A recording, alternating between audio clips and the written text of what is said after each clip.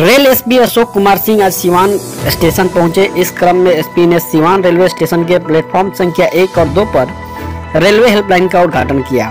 उसके बाद स्टेशन के बाहर सोसाइटी हेल्पर ग्रुप द्वारा संचालित कपड़ा बैंक का उद्घाटन एसपी ने किया, जहाँ गरीब असहाय लोगों के बीच कपड़े का वितरण किया जाएगा। उसके बाद एसपी ने बच्चों के बीच कॉपी कलम का भी वितरण किया। एसपी ने बताया कि हेल्पलाइन के द्वारा यात्रियों की मदद की जाएगी साथ ही यहाँ फ़र्स्ट एड की भी व्यवस्था की गई है। यात्रियों की सुरक्षा हमारी प्राथमिकता है। स्टेशनों में सिवान सबसे महत्वपूर्ण रेलवे स्टेशन है, जहाँ पे लाखों यात्रियों का आवागमन होता है और कई महत्वपूर्ण ट्रेन यहाँ पे रुकती हैं, जिससे काफ़ी पैसेंजर्स आते हैं और यहाँ से जाते भी हैं। रेलवे स्टेशन पे काफ़ी भीड़ होती है सर्कुलेटिंग एरिया में भी काफ़ी भीड़ होती है।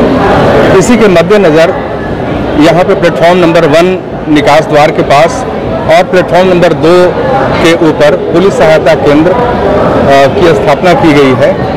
यहाँ पे 24 घंटे पुलिसकर्मी कार्यरत रहेंगे।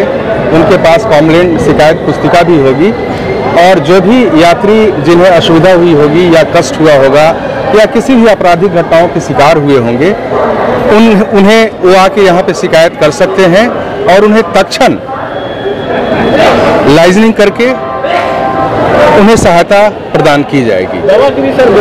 यहाँ पे फ़र्स्ट एड की भी व्यवस्था की गई है। जो भी यात्री अ, अगर बीमार यहाँ आएँगे व्हील चेयर की भी यहाँ व्यवस्था की गई है।